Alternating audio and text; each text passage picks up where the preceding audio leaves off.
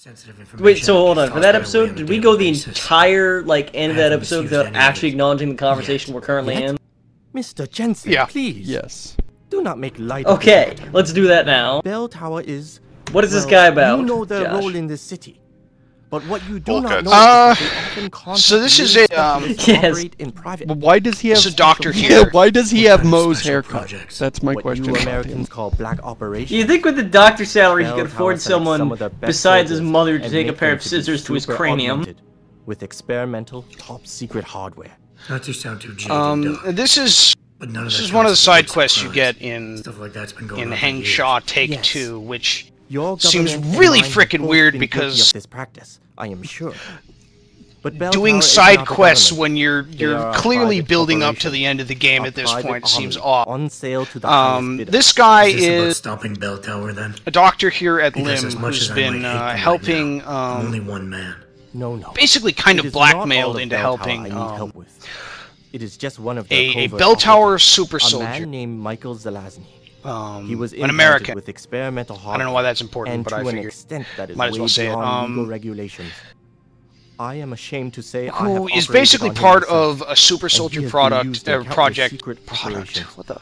for the Chinese. I need more coffee. Uh, Super Soldier Project at Bell Tower, who is um, uh, been implanted with kind of a control chip I get it. He's a badass. that Quite, Mr. Jensen. helps quite. to block out certain Rumor memories. It's, it's Zelazny and his supposedly there so that uh, you know if he ever gets captured and interrogated, he won't be able to give out any information. But I am this is they are involved. conspiracy And theory a few days ago, chicken Mr. soup here. So contacted me.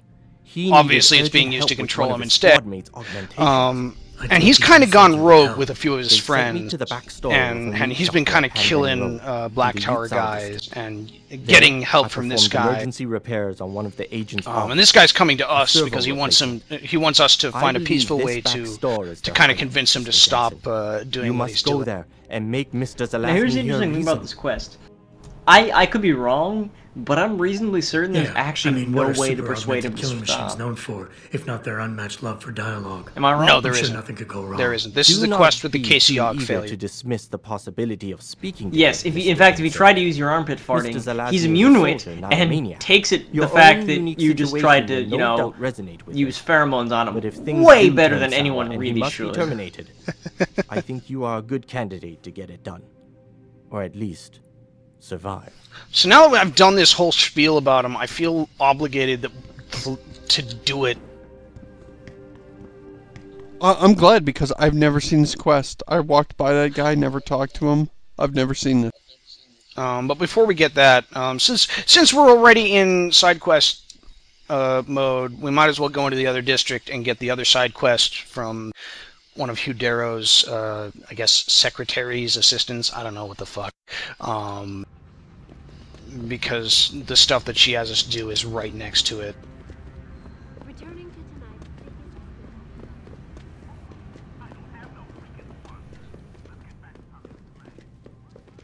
Yeah, I, I didn't do the this one, subway. but I did do the uh, Hugh Darrow one, and I don't think there's any way to not make that sound like a really scummy thing to do. The Hugh Darrow one? Yeah, I mean, she basically asks you what what, what is it? Either kill somebody or get some information for. No, Hugh she Darrow. doesn't want you to kill him. You fail the quest if you kill him, actually.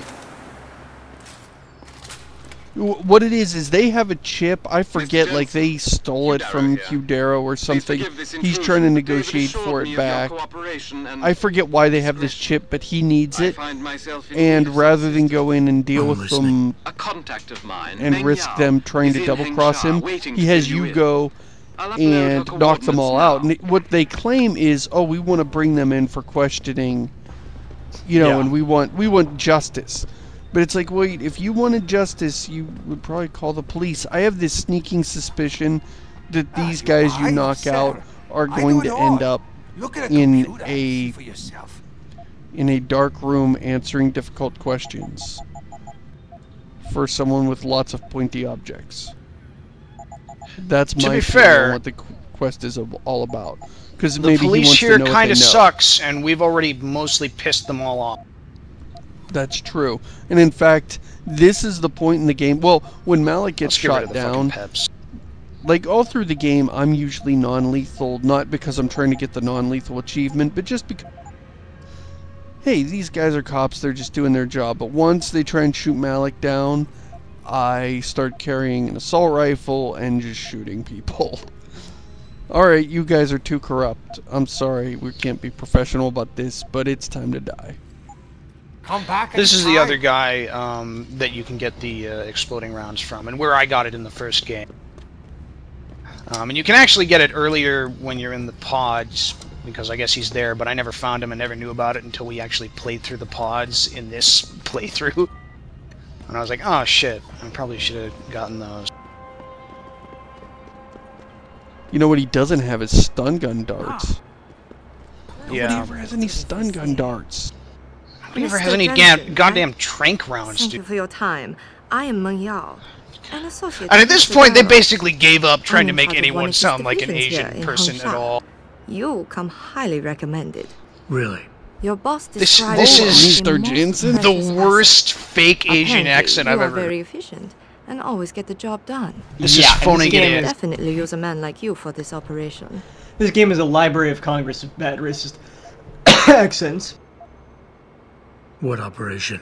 We need you to help us stop a group of terrorists who are threatening the I kind of wish Hugh Darrow had like a, Are you an American guy doing a really bad Cockney accent, because that would have been hilarious. Okay, I'll help out. I, am I the only one kind of bothered by. Hugh Darrow's accent because come to our attention that these he turns out to be the main villain and he has this super stereotypical high-class villain British accent. To convince them He's He Malcolm. McDowell. To one of our agents, a man named Lo Fei.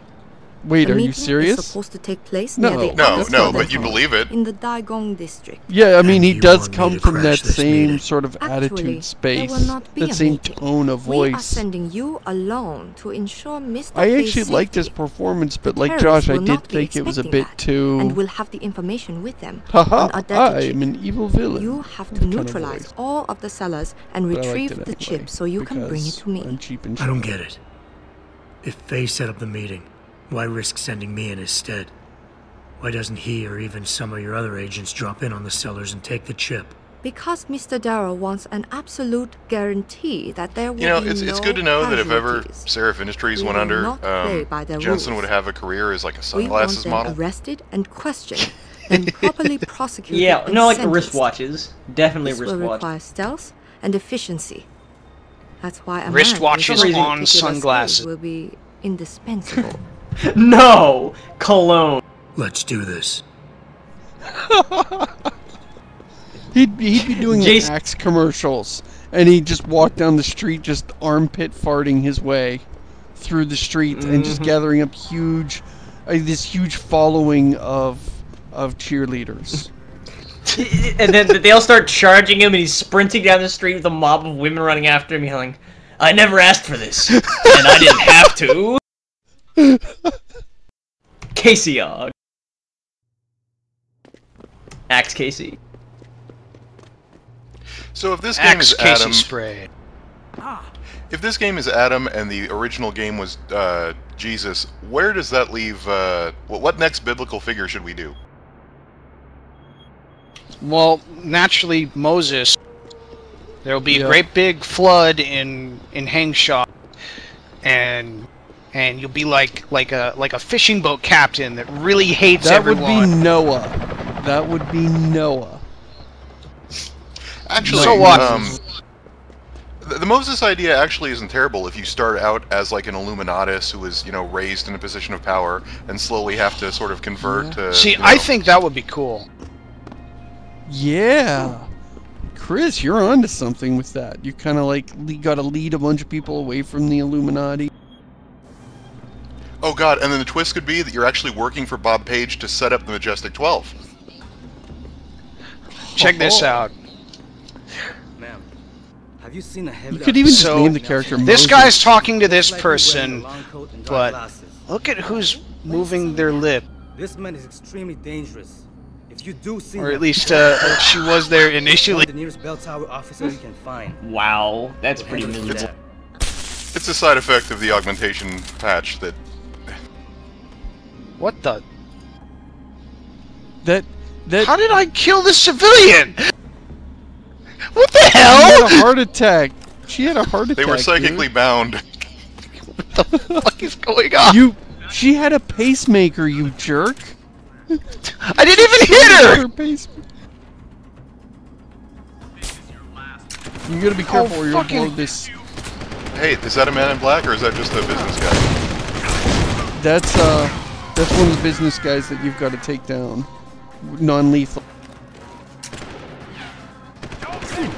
There. That You guys are really no- starting to get on my should- nerves. Your stealth operation continued. Oh, is there a guy directly below me or something? I guess not. I'm gonna go ahead and say, whether you succeed or not, this is the wrong way to be stealthy. This is how to not I, be I think stealthy. that's the constant. That is the constant in this show. And yet it continues to work. That's what really gets me. Is there an augmentation associated with that auto aim, or is that just a feature of the gun I never knew? That's that's a mod. Ah, it's hard to hit people at this range. Are we outside of the gun's range? No, You're you can hit people at this range. It's just it's not easy, especially when the auto aim mod keeps missing. And they keep waking Which is why I each turned other it up. off. Yeah.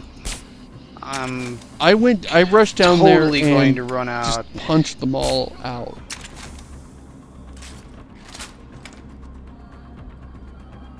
Not going anywhere for a while. Nope. You know, something I've never checked. I wonder if you can farm experience by constantly knocking out the same people.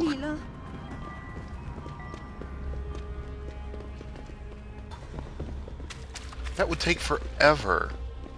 Yeah. Yeah, it would waste the reader's time and be the least efficient way to do it.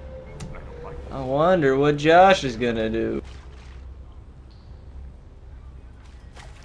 God damn it.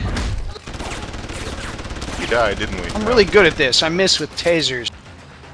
You can't run. See, Chris, you're learning. What the hell? Oh, this guy must have the chip.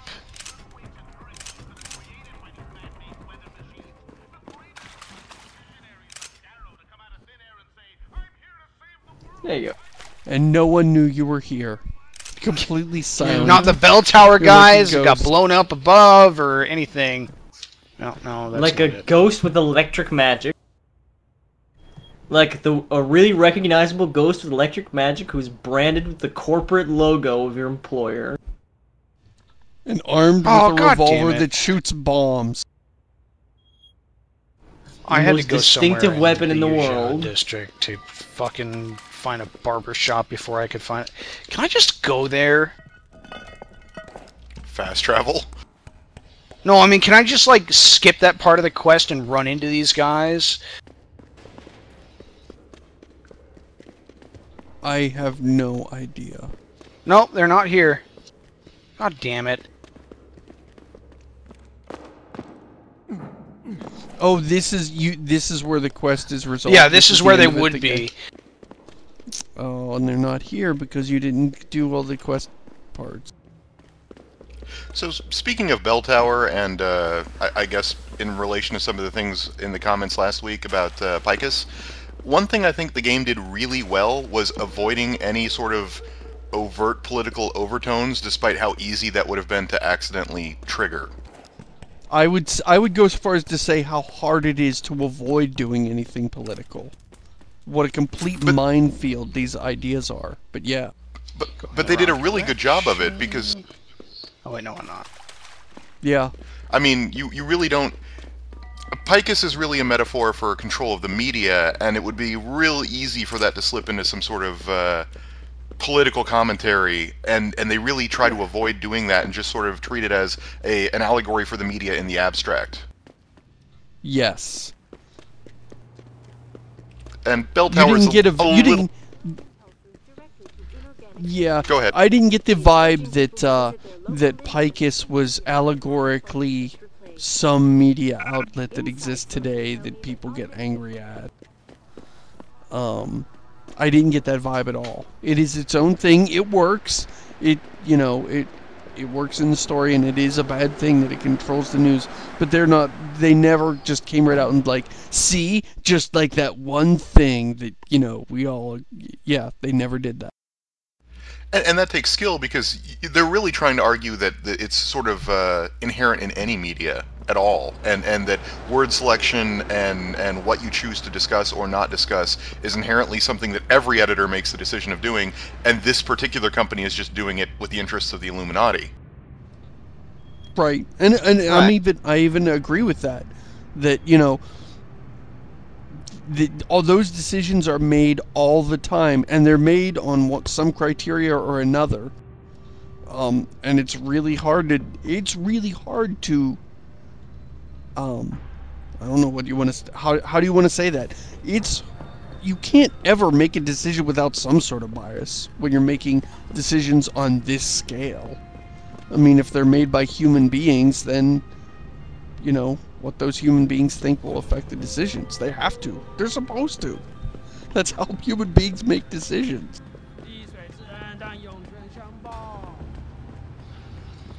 That's odd. Why is this like I can see the icon for this this quest oh. here. Oh.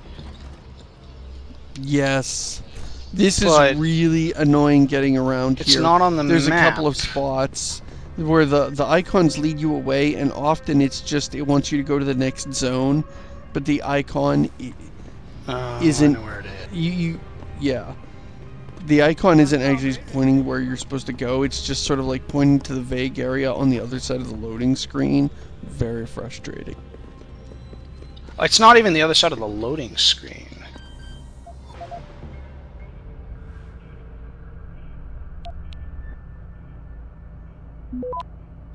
I wonder how much of the game total was spent staring at a hacking screen on average. Depends on if you're a masochist or not. Here we go. It's Inexplicable butcher Piper. shop in the middle of this alleyway here. You look familiar. Are you on TV? and then a back door that leads into whatever the fuck this place is. Weird this is that Um, quest this is I've a, never uh, a done. bell tower guy dressed exactly like a bell tower guy that was kind of, you know, a plant, a mole, if you will, in uh, in Zelazny's organization. So the red and black is actually Bell Tower? I think it is. Access grant. That's interesting, because that I, I, I don't know what that means for Deus Ex, you know. I, I don't know if it's just a clever nod to the original Deus Ex, or if the implication is these are sort of the clone troopers to Deus Ex's stormtroopers. yeah who else wears red and black i'm trying to think Darth Maul. no no but i mean in this in this That's particular face game paint, though. which like bell tower is all gray so who's red and black They're the mystery Illuminatus that protect uh, Megan at the later place. They're the people that attack. Uh, Oh yeah, this one's right. broken too. This quest is totally broken where it doesn't update after you find the pocket secretary, so I had to go look up where to find this thing. Um, of course I know where it is, but now that I think about it, I should go and, and turn this into Mengyao. Um, since well, actually no, you know what? I should go over there. We'll come back here on our way to meet um, Tom. Oh Big spoiler there. Yeah, this is about the most realistic. This is unlike A most of day in the life where we're of an indecisive player. This is what my playthrough looked like a lot of the time. You're trying to route efficiently, but you're like, wait, oh, okay, that's real close. Oh, but it's on the other side of a loading screen. So wait, is it better to hike all the way across town? So the hive and has been like locked loading? down. Aw, that guy moved far enough away that I wasn't able to kill him with and kill all of them with one shot. So this um, never really. This particular reveal kind of felt like a small world coincidence that I didn't. That it was a little too small. If you know, know what I mean. Yeah. Yeah. The Which reveal? The uh, Tong's arm. Oh yes, yes. It just happened to be the guy that you worked with, you know, six months ago.